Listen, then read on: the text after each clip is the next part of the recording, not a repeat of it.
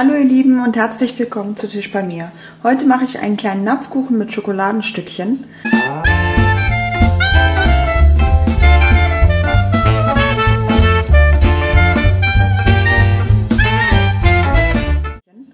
Es ist die perfekte Größe für uns, eine 16er Gugelhupfform.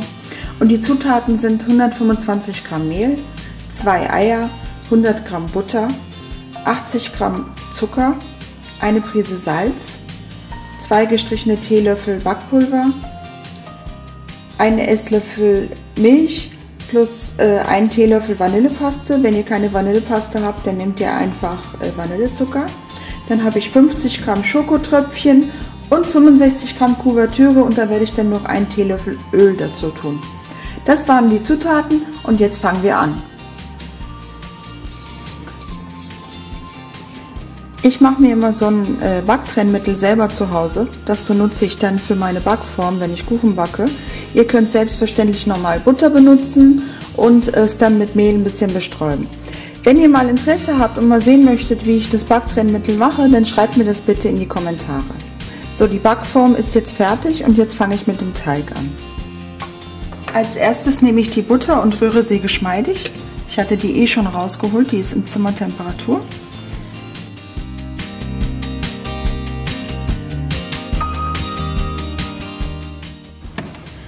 Kommt der Zucker, die Prise Salz,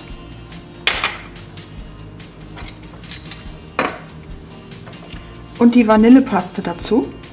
Wenn ihr keine Vanillepaste habt, dann nehmt ihr einfach Vanillezucker.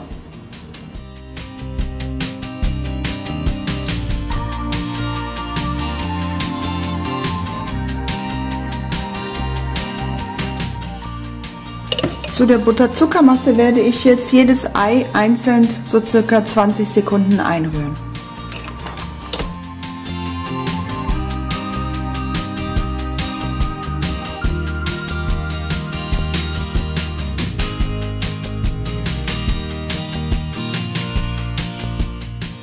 Das Backpulver habe ich jetzt mit dem Mehl vermischt und siebe es in die Buttermasse.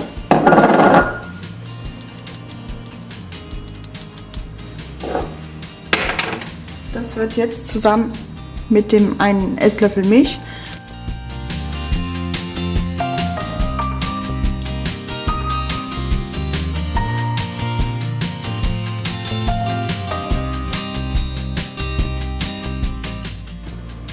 Der Teig ist soweit fertig. Jetzt kommen nur noch die Schokotröpfchen dazu. Und die werden noch ganz kurz untergerührt.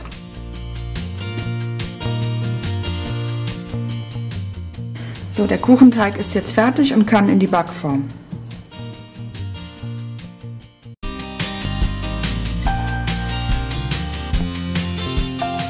Der Kuchen ist jetzt fertig für den Backofen. Den Backofen hatte ich ja vorher schon vorgeheizt auf 160 Grad Umluft und da kommt er jetzt für circa 40 bis 50 Minuten rein. Zum Schluss werde ich euch noch sagen, wie lange der Kuchen genau im Backofen war. So, der Kuchen ist jetzt aus dem Backofen raus und ich habe ihn schon 10 Minuten abkühlen lassen. Er war ganz genau 40 Minuten im Backofen. Und äh, wie ihr sehen könnt, ähm, ist er auch an den Seiten richtig gut äh, zu sehen, dass das Backtrennmittel richtig gut funktioniert.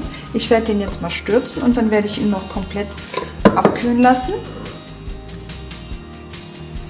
bevor ich die Kuvertüre auf den Kuchen streiche.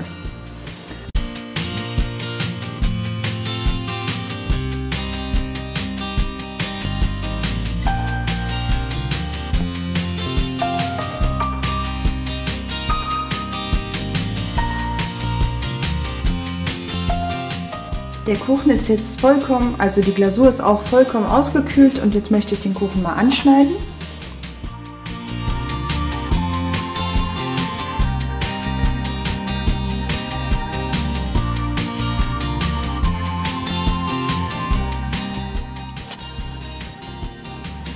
Der Kuchen ist super lecker geworden und hat für uns die perfekte Größe.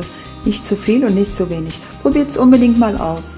Wenn euch das Video gefallen hat, freue ich mich über einen Daumen hoch und vergesst nicht, meinen Kanal zu abonnieren. Tschüss, bis zum nächsten Mal.